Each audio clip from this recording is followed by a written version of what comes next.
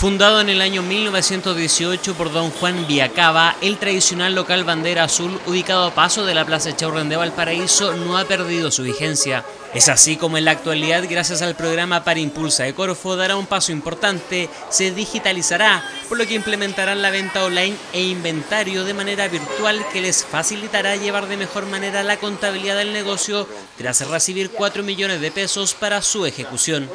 Nosotros buscamos el, cambiarnos a lo, digital. Actualmente estamos recién implementando, em, principalmente porque ya se está haciendo muy difícil eh, el control de inventario y por otro lado también, a pesar de que nos queremos mantener con la tienda física, también queremos llegar a distintas personas que quizás eh, no, pueden venir, eh, que quizás les cuesta llegar a este lugar de Valparaíso y a través del e-commerce pensamos que, podemos eh, abarcar personas que o no nos conocen o que dejaron de venir. Para saber si, si hay una olla tenemos que ir a la bodega a buscarla. Entonces con el control de inventario va a bastar ver el sistema, va a ser mucho más fácil. Eh, el equipo de vendedores va a poder enfocarse en quizás atender mejor, en dar otros servicios. Los aportes destinados para este local mediante el mencionado proyecto fue con recursos del gobierno regional para mejorar la productividad del comercio local.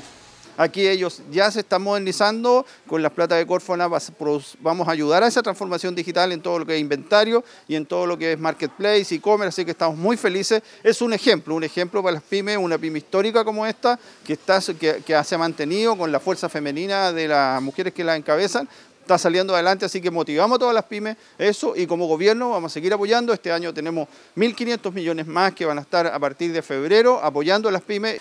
Y también, y por sobre todo ahora, necesitamos lo que es la transformación digital, que va a ser clave para lo que se está viendo actualmente, entendiendo que estamos subiendo de fase, moviéndonos de, de las distintas fases, y eso, y eso implica a que estas nuevas herramientas van a, van a permitirles y, está demostrado ya de que pueden aumentar sus ventas y poder mantener en, en algunos casos sus negocios. Ubicado en el mismo lugar desde sus inicios, es posible encontrar en su interior una variada cantidad de artículos de menaje para el hogar y restaurantes. Dentro de sus características es la atención personalizada, lo que entrega confiabilidad, cercanía y busca fidelizar a sus clientes. Está súper bueno porque estoy encontrando todo lo que necesitamos. Estamos levantando una masandería popular de mujeres en el Cerro Chorrillo y está súper bueno, así que mm, están buenos los precios, no sé, bacán. Está todo bueno a buen precio y bacán. Aguante este tipo de tienda en Valparaíso. Bien, porque yo hace muchos años, en el 78, vine a comprar una olla Malmico. Y todavía está la olla, todavía sirve. Muy buena. Y ahora vengo a comprar esta olla para hacer el dulce mermeladas. Una buena olla me llevo. Una tradición también acá en Valparaíso. Más de 100 años acá en la comuna porteña. Sí, los otros días lo vi por el Facebook, la bandera azul. Muy buena, por eso que me gusta venir acá. Si yo vengo siempre a comprar acá. Feliz me voy. De esta manera se mantiene en pie uno de los pocos locales que permanecen en la comuna porteña por más de un centenar y que sus fieles usuarios guardan más de algún buen recuerdo de antaño.